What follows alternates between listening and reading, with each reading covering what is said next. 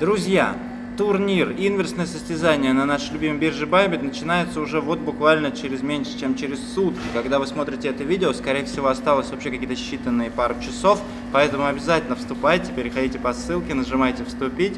И для тех, кто в танке, напоминаю, что это именно инверсный турнир, то есть турнир по фьючерсам, но только по вот этим вот фьючерсам, которые называются инверсные контракты, где вы в обеспечении держите не USDT, скамовую бумажку, которая на 99,9 в периоде упала уже за последние 100 лет, а настоящую крипту. Биток, эфир, Ripple, EOS, DOT, ADA, MANA, SHMANA, Litecoin, Solana, Shalana и все остальное говно.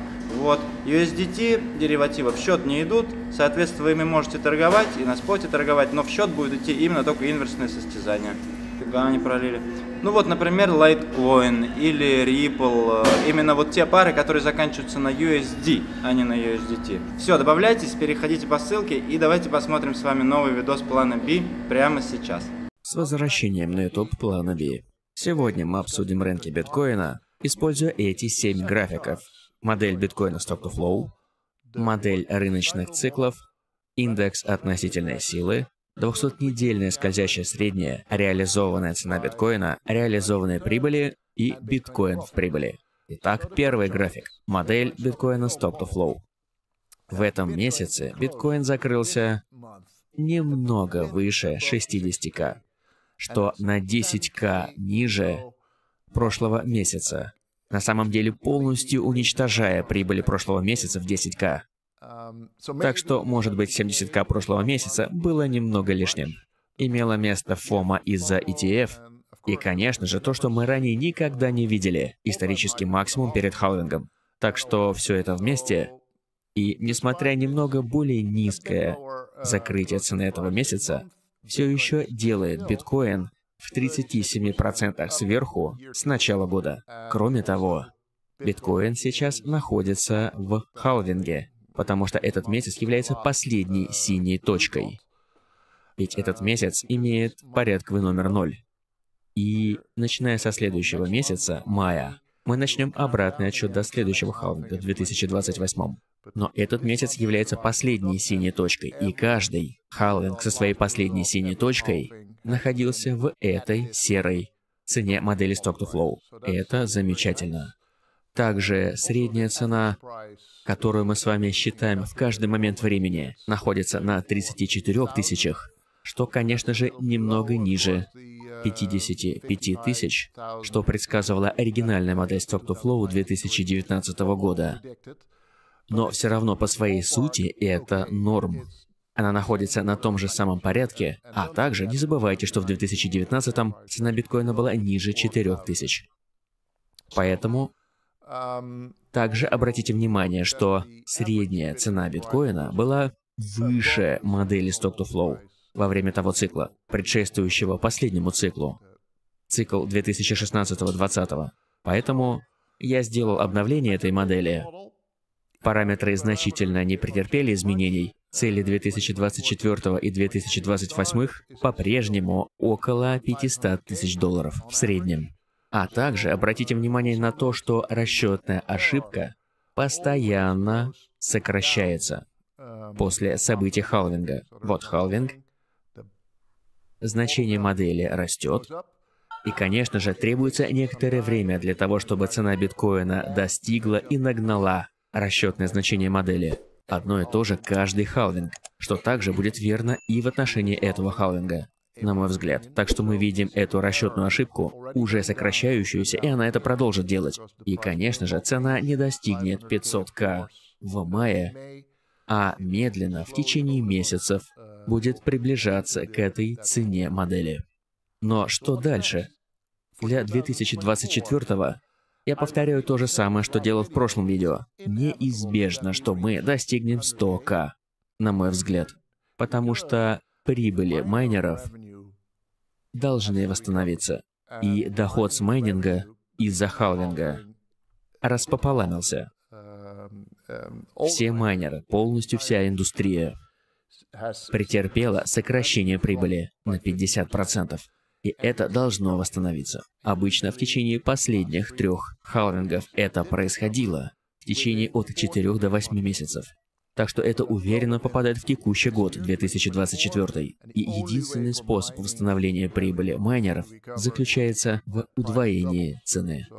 Так что, рассчитывая с текущей цены в 60к, мы должны с запасом перевалить за 100к в этом году.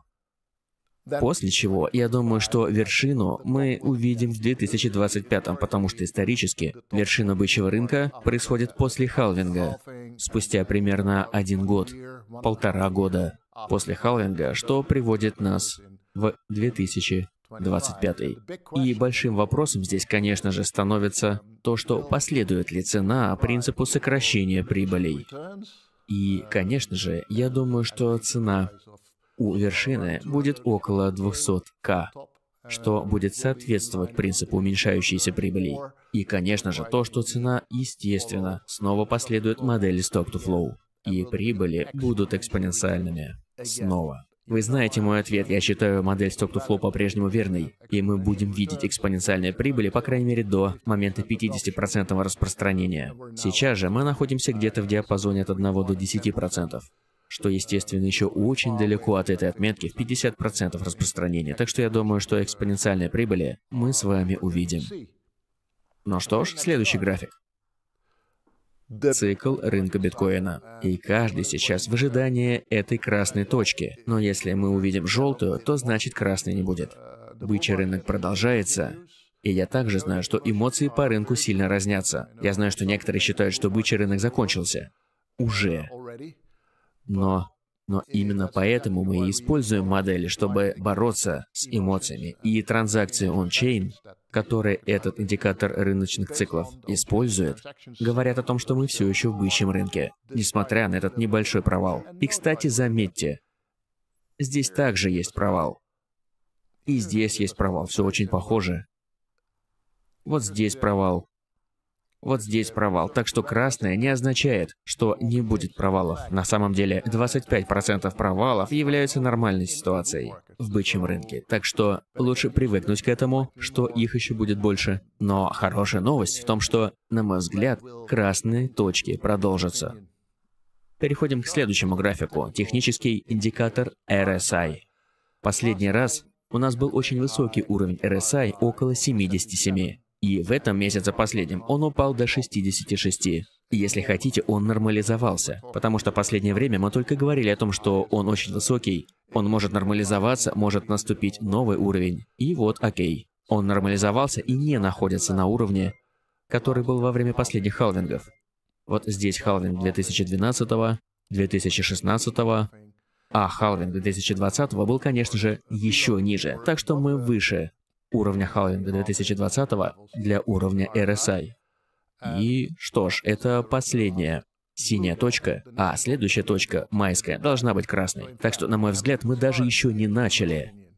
И я думаю, что красные точки, которые мы с вами увидим, начиная с мая, красные точки будут выше синих точек. Так что красные точки RSI будут выше RSI синих точек, что значит, мы с вами увидим RSI намного выше уровня в 80.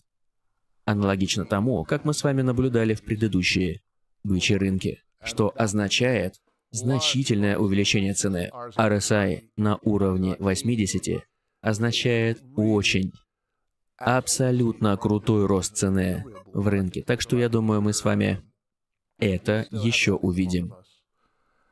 Если мы с вами посмотрим на 200-недельное скользящее среднее, то здесь особо ничего не произошло. Оно немного подросло, как всегда и делает 200-недельное скользящее среднее. И теперь оно находится на уровне 34 тысяч долларов, так что вы видите, что оно представляет очень консервативный пол для бычьего рынка. И очевидно, что оно очень консервативно даже и для медвежьих рынков. Во время этого мы можем коснуться или даже немного ниже опуститься этого уровня. Но во время бычьих рынков мы уходим значительно выше. Так что я думаю, для нас в настоящий момент 200-недельное скользящее среднее является не очень интересным. Но вот этот график, цена реализации, очень интересен. И я скажу почему. Цена реализации, что является себестоимостью биткоинов, всех биткоинов 19,6 миллионов, пересчитывается по последней цене их транзакций. И сейчас это значение составляет 29 тысяч долларов. И двухлетняя цена реализации составляет 45 тысяч долларов. Немного выше, чем в предыдущем месяце, и немного выравнивается. Тоже верно и для пятимесячного уровня цены реализации. Сейчас она находится на уровне в 60 тысяч. И очень интересная вещь заключается в том, что во время бычьих рынков образуется очень мощный уровень поддержки. Так что провалы, которые мы с вами видели в последние месяцы, обычно отскакивают от уровня пятимесячной цены реализации. Это краткосрочная зона поддержки. Мы с вами также видим, что вот здесь, в 2020 во время бычьего рынка цена упала до пятимесячной цены реализации. Вы также здесь видите это плато, цена реализации, а также цену реализации за два года. Мы с вами видим это здесь, в 2016, здесь, в 2017, эти небольшие провалы, которые касались ярко-голубой пятимесячной цены реализации и взмыли снова. И я думаю, что это мы с вами и увидим. Аналогичная ситуация была и в 2012 году, верно? Цена упала до светло-голубой линии, после чего вернулась обратно и продолжила бычий рынок. Так что я думаю, что прямо сейчас мы находимся в абсолютно такой же ситуации.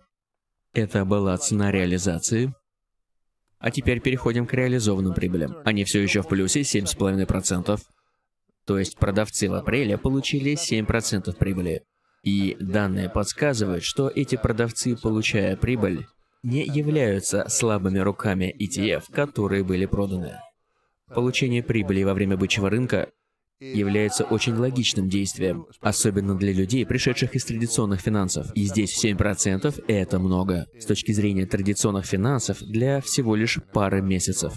Так что не ругайте их, и иногда, особенно если вы новичок, для этого рынка, для рынка биткоинов, вы, вы спешите получить прибыль, если видите, что прибыль реальна. Поэтому вы забираете деньги и затем их реинвестируете.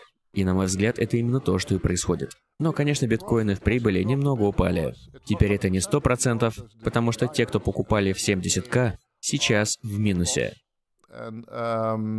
В настоящий момент 12% в минусе, что представлено желтым. И, вероятно, мы можем немного сравнить это с тем, что происходило в 2020-м. Красное, красное, желтое, после чего бычий рынок продолжился.